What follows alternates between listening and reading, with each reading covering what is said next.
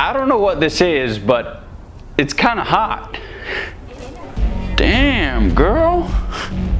You grew up.